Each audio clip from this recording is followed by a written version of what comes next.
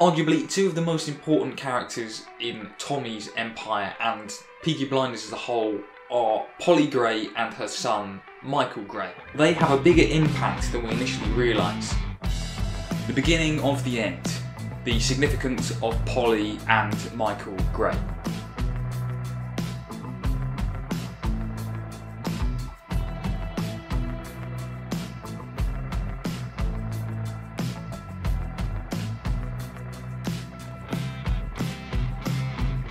This video is dedicated to Helen McCrory, our Pole, who remains one of the most layered and best characters, not just in Peaky Blinders, but in the whole of television. Let's run through the timeline.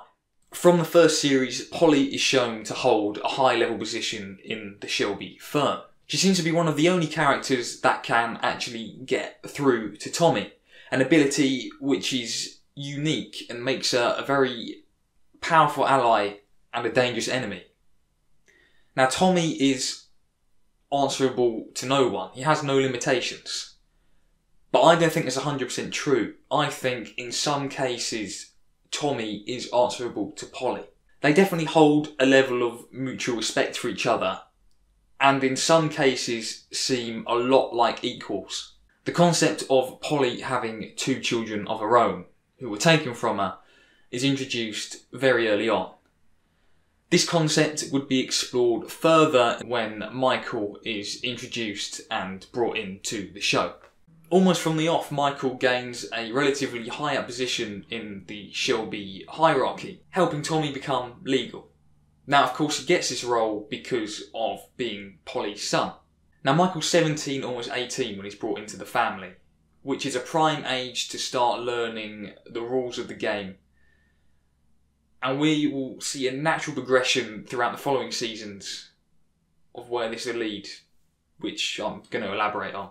Michael witnesses the importance of his mother and the rest of the Shelby family pretty quickly. The scene that springs to mind is after realising who the two young lads are at the bar, being Michael and Isaiah, and who they're related slash linked to, the mention of Polly Gray and the Peaky Blinders fills the pub with terror, completely changing the atmosphere, which then teaches Michael he's able to operate on a different level.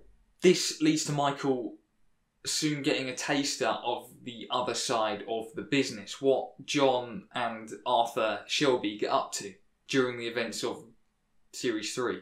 Now, with know how and, and knowledge of both sides of the Peaky Blinders business, Michael could become a point of interest that could either go for or against Tommy. During Series 4, due to spiraling events, Michael is sent down a path not of his own choosing. Polly sells out Tommy.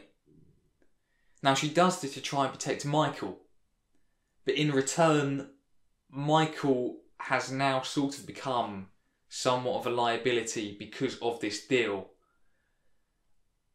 And of course, Luca Changretta flips that and makes Michael choose between his mum or Tommy. Of course, Michael chooses mum and neglects to tell Tommy of the attempt on his life.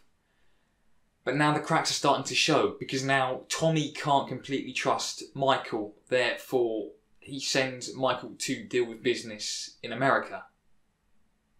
Michael's still under the Shelby Company Limited, but he now has the room to go and make his own allies, own enemies. Now Michael has the room to grow slash evolve on his own. So after Michael returns from America, he puts plans forward to take over the family firm from Tommy with his new contacts he's made through his new wife Gina. It's official. Michael and Tommy now have opposing views and opposing agendas. The only person that's able to keep them in line and to stop them from destroying each other is Polly. Now, of course, this is series five. I, I don't know what the original plan was before Helen McCrory's passing. Plus, we had the COVID pandemic, which changed plans. But what we got in series six does feel like a natural progression.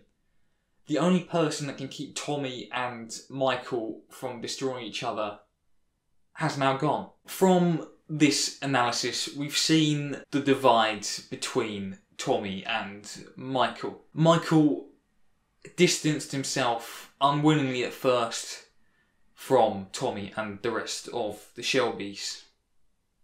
But now they're on opposing sides. These characters are still, however, linked because of their grief and their loss towards Polly Gray. Throughout the final season, Polly's presence is still felt.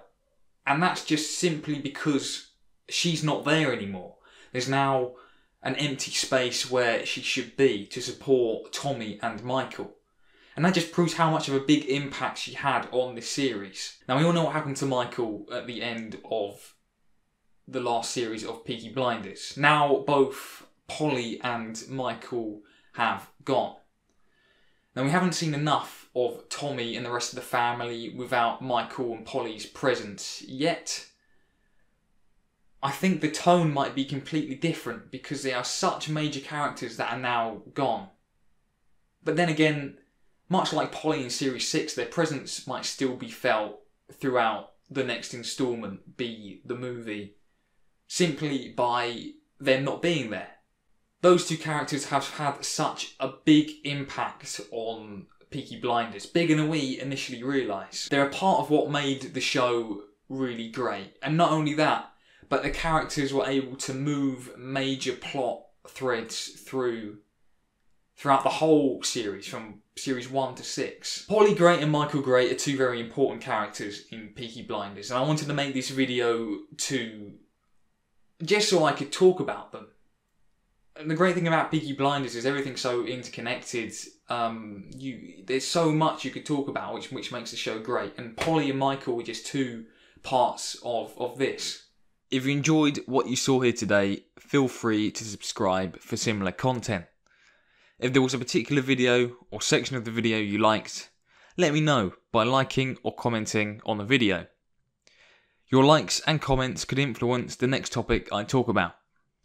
Thanks for watching.